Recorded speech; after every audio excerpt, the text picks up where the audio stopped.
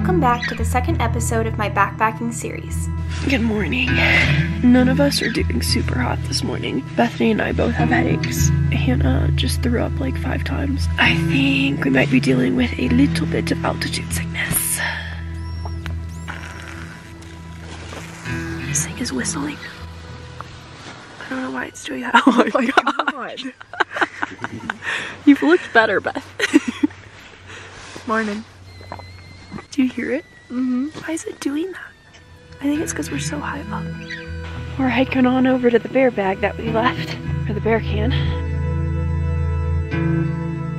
We want to get some coffee and some oatmeal roll and warm us up. Opening the bear can and seeing what was made for the day actually became sort of fun and exciting. And coffee. And coffee, the most important thing. It's a cold morning.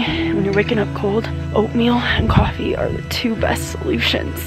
So then you can just stand and drink that while you're waiting for the sun. And we are really, really, really, really waiting for the sun right now. We want it to come out real bad.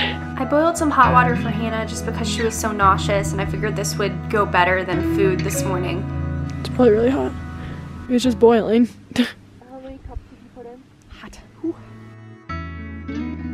Here's your hot water. Want me to talk about it? Show No. Threw up. I mean, you can if you want. I was just gonna get a shot of your hot water. Well, We're always trying to be real, right? yeah. Is it recording? Yes. So let's talk about altitude sickness. I've lived in Colorado for the last six years. My sisters just came to visit to do a backpacking trip, and I'm having altitude sickness. It can happen to anybody, not just people coming from sea level. I threw up right there, Oh, right under the rock. right into the rock. No. Oh, it's It's soaked in. mostly just spit and neon color, kind of like our dog when she up. Except she licks hers up afterwards. in the sun. It's finally hitting the tents. You guys see it? Is that your ah, sun dance? Show us your sun dance.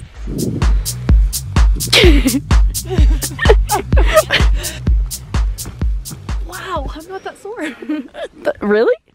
I'm so sore. For the next hour or so, we took our time getting breakfast ready. We realized it would be totally unproductive to leave camp before we were feeling a little bit more well rested and warmer from sitting out in the sun. Just because you're in the mountains doesn't mean you don't get coffee.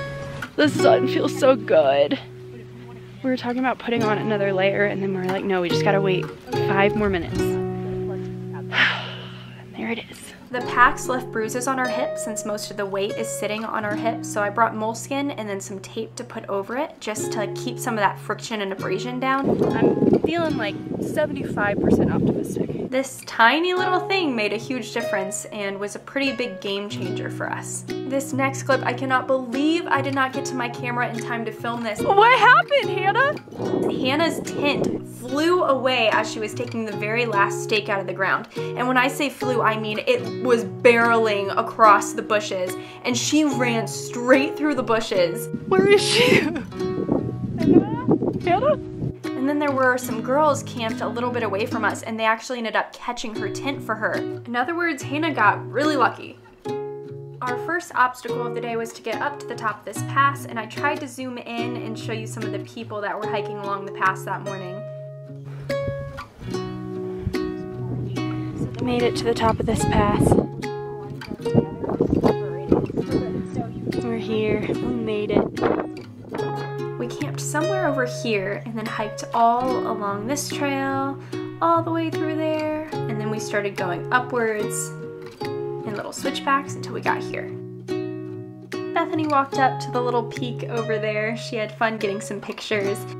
I'm just chilling down here with a map as blanket because I don't feel like digging all the way through my pack and this is actually working quite well as a windbreaker.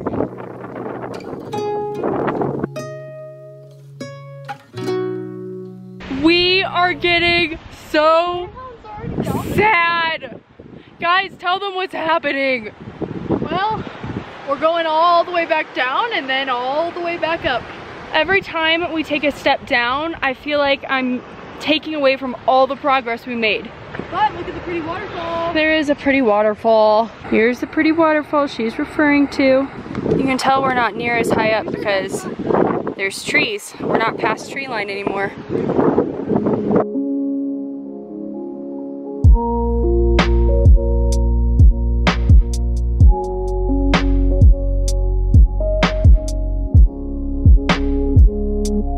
I think I got a little bit of heat exhaustion going on. Trying to just put a foot in front of the other until we get there. My sisters are making fun of my gross feet. Please don't show people that. Nobody wants to see that. Look how much skin. That's disgusting. Ew. I knew the sock was like rubbing on my foot. It just kept rubbing and rubbing and rubbing and now I don't have any skin.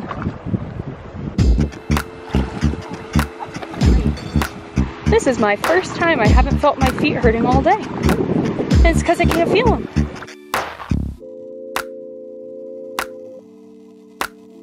Hey JFam. We made it to our second campsite, kind of. We were planning on hiking to a lake that's probably, Probably fourth miles to the lake, but yeah, but I mean, we spent the majority of our day going straight down, like descending everything we did yesterday. We Gone. probably descended a good 3,000 feet. Yeah. And then we went back up. The hills were so steep, but we almost made it to the lake. Unfortunately, Jessa wasn't so lucky. She um, started kind of getting sick almost at the top. So she's sick. She's in the other tent over there, but we're making dinner. Probably will be a lot of altitude sickness tonight and tomorrow morning.